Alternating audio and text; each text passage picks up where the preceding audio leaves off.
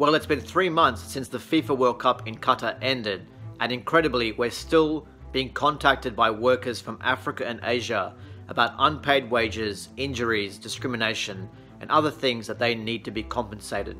These are the women and men who made the tournament, while FIFA made $7.5 billion. Qatar made $17.5 billion. For the past three years, I've been engaged in investigations with Equidem. Uh, we've now talked to more than 1,000 workers whose cases represent many more who are to be compensated.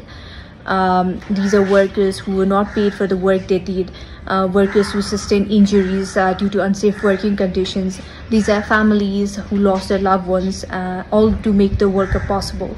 We are trying to see what workers experienced during the World Cup and possible violations.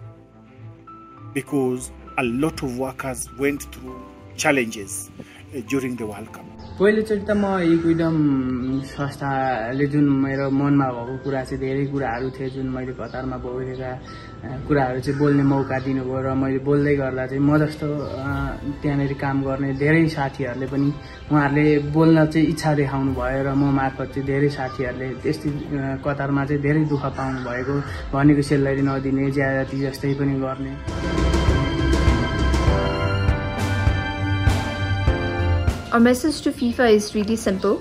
Uh, if you can make billions of dollars in profit, if you're able to pay millions of dollars to footballers, why can't you make sure that workers are paid what they're owed?